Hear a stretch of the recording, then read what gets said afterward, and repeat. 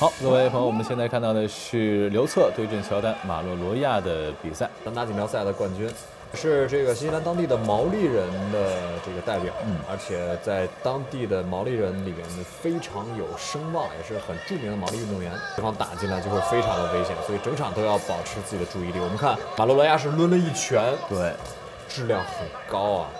哦，这个漂亮迎击顶膝。这场比赛我们说了，对于刘策来说，这场比赛的容错率是很低的，只要必须得一直保持让对方处在自己的射程之内，而对方的射程之外。小踢力量很大，虽然踢在手臂上，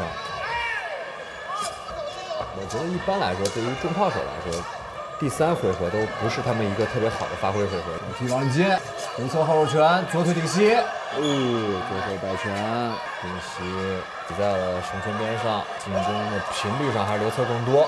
摆拳顶膝后手摆拳前手平勾刘策前手平勾顶膝。比赛结果红方胜刘策获胜。